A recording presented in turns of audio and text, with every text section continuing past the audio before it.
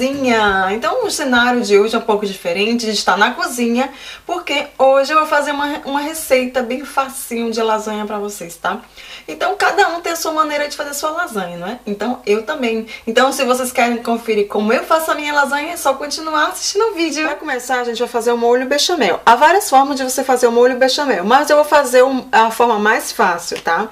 Então vou colocar leite uh, farinha de trigo e uh, bloquinhos de caldo de galinha, esses bloquinhos assim que você usa para temperar a carne. Então esse aqui que eu vou usar é um, um bloquinho de, de galinha e eu vou usar esse porque eu achei ele uma delícia. E também porque ele é, ele é magro em gorduras, tá, gente? Então, é, já que a gente vai fazer uma lasanha, a gente vai tentar também usar um pouco mais de ingredientes que façam bem a nossa saúde, né? Então, a gente coloca o leite na panela, sem tentar sujar tudo, porque acontece esse acidente de o leite pular. Né? Como pulou aqui, já deixou tudo sujo. Então, eu vou usar mais ou menos a meia caixa de leite, acho que mais um pouco, quer dizer, um pouco mais é, que meio litro, tá, gente, ó. Pouco mais que meio litro.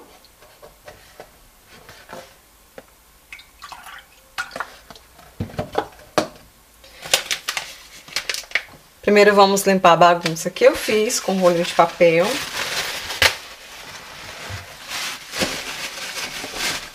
Porque esse acidente acontece quando a gente tá na cozinha, é super normal, mas às vezes é chato, não é? Agora a gente vai ligar o fogo. Então eu vou colocar no mínimo, tá? E a massa, tipo, vocês fazem no olho, tá? Então eu coloco assim umas 3 a 4 colheres de pau, assim.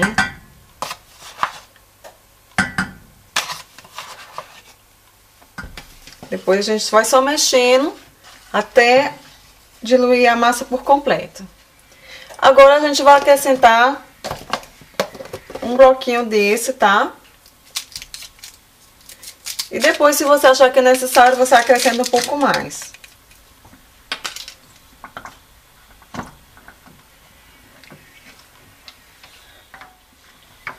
Bom, meninas, agora é ter paciência e mexer até o molho engraçar. Agora que o molho já tá grossinho, ó, a gente vai acrescentar um pouco de noz moscada. Não muito, tá? Só pra dar um gostinho extra. Agora mexe bem. E o nosso molho vai estar tá pronto. Bom, meninas, tinha uma parte do vídeo que tinha muito barulho. É porque o sugar estava ligado, então tive que desligar, senão não dava pra fazer o vídeo. Mas agora a gente vai fazer, é, no caso, o molho, é, bolonesa. O molho de carne, com carne vermelha. Então, eu coloquei aqui, olha, é, 1 kg e 100 gramas, mais ou menos, de carne moída, tá? Carne de boi moída, mas a carne, aquela carne que tem menos gordura, a mais pura possível, tá? A carne moída mais pura. Porque tem algumas carnes moídas que a gente compra naquele pacotinho, mas vem bem uma mistura, assim, tem muitos pedacinhos brancos. Aqueles pedacinhos brancos são gordura. Então esses aqui a gente vê, olha, que não tem muitos, vê? Tem muitos pedaços, assim, bem lindos, vermelhos. Então essa aqui é a carne melhor, é, que, a, que eu aconselho a vocês comprar, porque ela, ela é mais saudável. Menos gordura e o gosto muda totalmente, gente. O gosto dessa carne aqui é muito diferente da outra. Bom, então, mas vocês usam a carne que vocês gostam mais, que vocês preferem, tá? Ah, aqui tem um, é, um quilo e 100 gramas, então. Coloquei tudo nessa panela, então eu vou usar também uma colher de pau, que é mais prático, mais fácil de mexer. Então, eu vou começar a colocar nessa carne um pouco mais de... Dá um pouquinho de gosto, né? Então, eu vou colocar é, um bloquinho um bloquinho assim, olha, que é o mesmo bloquinho que a gente usou pra fazer o molho bechamel. Então, eu vou colocar um bloquinho. Durante, já ligar no, no fogo, no, no fogo médio, mais ou menos. A gente vai colocar um pouco de alho. Então, como não tem um alho em casa, o alho mesmo em casa, né, o dente de alho, então eu vou usar esse alho aqui, olha, que é o alho em pó, que esse aqui eu compro lá no Corates. Ele vem esse potão aqui, olha, de alho em pó. Não é o mesmo, não é a mesma coisa do, do nosso alho tradicional, mas é bom.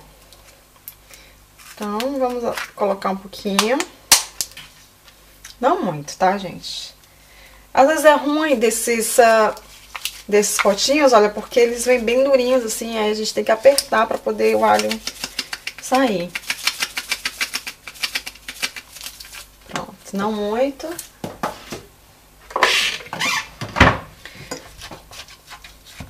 E agora a gente vai simplesmente tampar a panela e deixar a carne uh, esquentar um pouquinho, tá?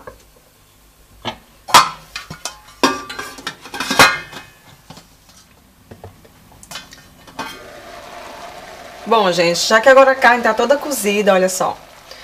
Agora eu vou acrescentar uh,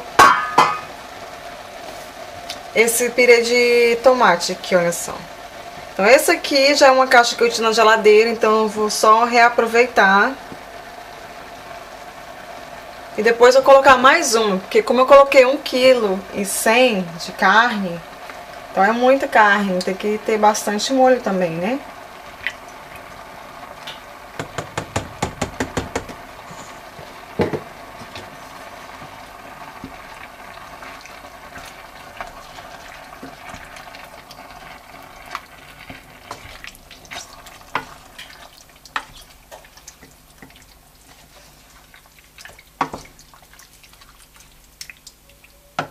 Pronto, agora a gente vai fechar a panela e deixar cozinhar mais um pouquinho para a carne absorver um pouco do molho de tomate.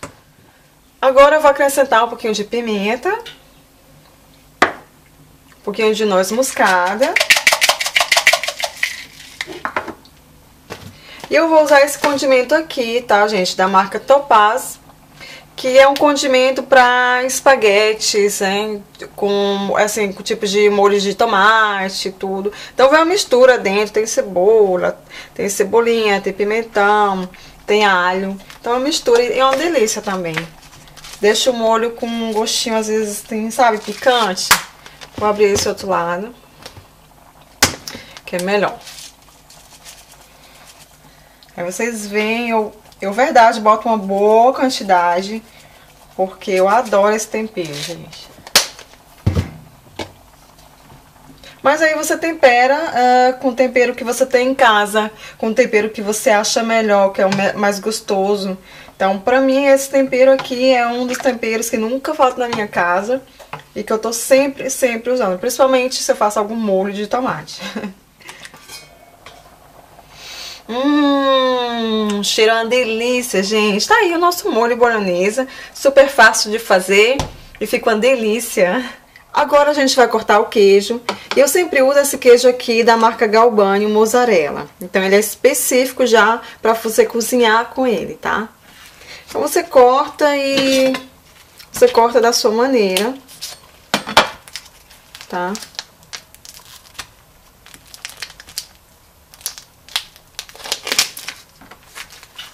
E aqui eu tenho 400 gramas, tá, gente? Olha, esqueci de mostrar, mas tem 400 gramas. Então, ele é um bloco, então ele é fácil de cortar, mas não tem uma regra pra cortar, tá?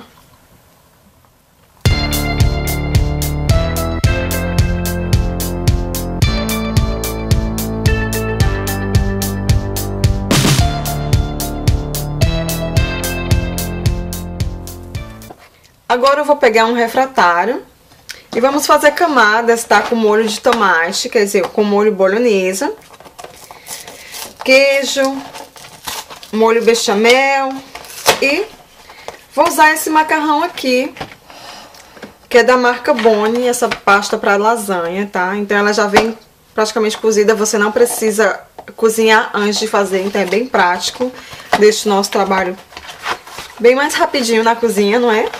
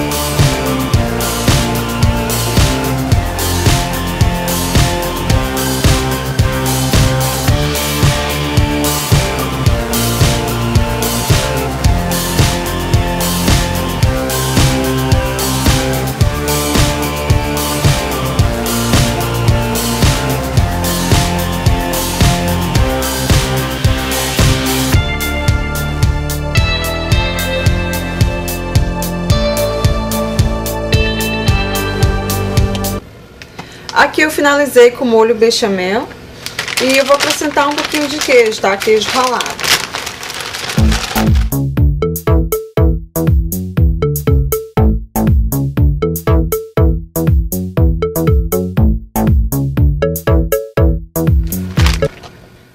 Agora com o forno pré-aquecido, nós vamos colocar nossa lasanha lá por 25 a 30 minutos.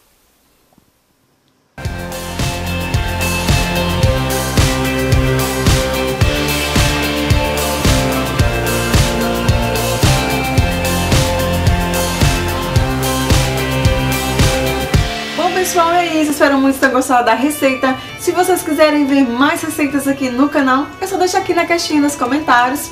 Não esqueça também de me seguir lá no Instagram, que é o arroba Me sigam também na fanpage, vou deixar tudo anotadinho aqui, tá? E se vocês gostaram do vídeo, não esqueçam de clicar no gostei pra mim. Comenta o vídeo, compartilhe com as amigas, com os amigos. Um grande beijo e até a próxima.